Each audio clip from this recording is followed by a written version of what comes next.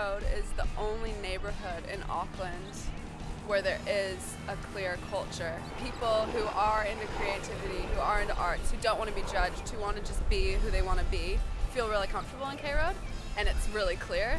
In every other part of the city, there's just your everyday average people, but in K Road, there is a clear, I don't know, like dress code almost. Unique, individual, creative, totally out there. I'd say almost like hipster, like emo sort of dress look.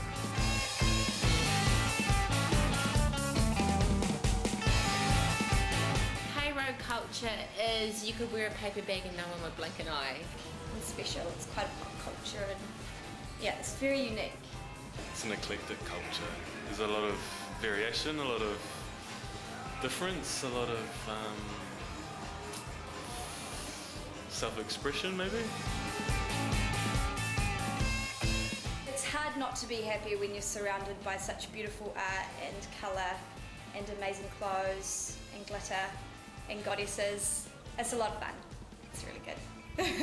I love it. I love K Road. I like it how it's kind of just a little bit um, rugged. It's diversity. I like people watching here. Up shopping, The fashion. It's kind of got its own sort of character, its own sort of feel. It's more edgy than anywhere else in Auckland, I guess, and the sort of people that you see here are a lot more interesting.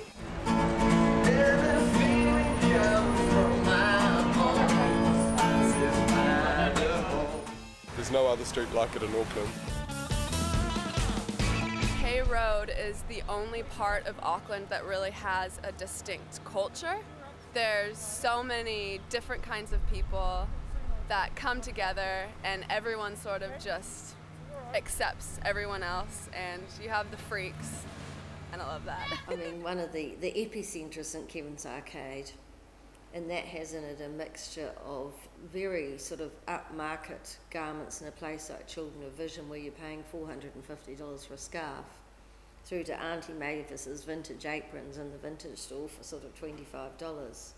There's a lot of shops that have been here for quite a few years. For example, Vixen, which is across the way, she's been here for about 12 years. And the fact that she's still relevant today as much as she was 12 years ago um, with second-hand clothing, that's pretty special. K Road is like a really creative kind of area. It's also kind of quite an up-and-coming area. There's lots of galleries, um, and it's, it's quite diverse. So You've got the galleries, and then you've got kind of the um, the seedier kind of um, side of K Road, all kind of coming together, which is what I really like about it. It hasn't been too cleaned up or too gentrified. It's still quite raw. But there's there's a huge history to the whole area. Like um, I get so many people that come into the arcade where we are that have come here when they were like you know little girls, and it was like a you know it was a way out from the city to like the department store and the department stores that were on K Road as well at the time. So everyone has stories about K Road, um, whether they're good or bad. That kind of add to it being iconic.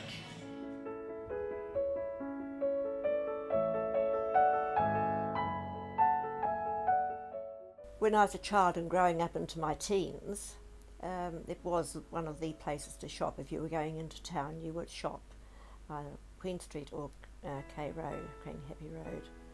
The heart and the soul of K Road would have been George Courts. People would go to K Road to go to George Courts mainly. George Courts was a, a general store catering for school uniforms. Um, and probably catering to the middle class um, economy.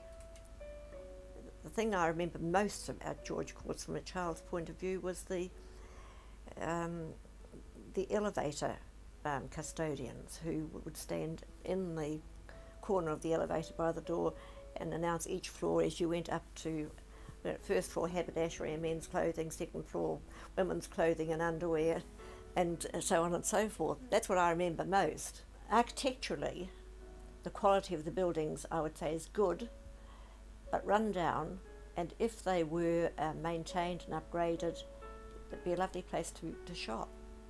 And I just hope that they're not pulled down as they have been in Queen Street. I hope that the integrity of the buildings remains.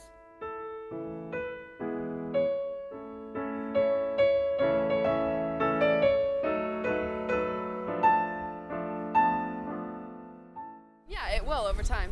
Like, just look at Ponsonby. Ponsonby was grimy 10 years ago, and now it's super upper class. Like, that's just part of city development, unfortunately. I think people that lived in K Road for a long time will see it as a negative thing, but it doesn't need to be. That's just life. It's development, like it's globalization. Like that's gonna happen. So you can either accept it and have fun with it and nurture the art side of it, or you can be bitter. All urban centres change over time.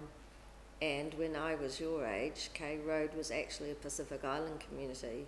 It's just a natural process. Areas evolve and change. Um, generally, when an area gentrifies, you get more and more big companies coming in. But effectively, it's getting more residential base, it's getting more arts and more cafes.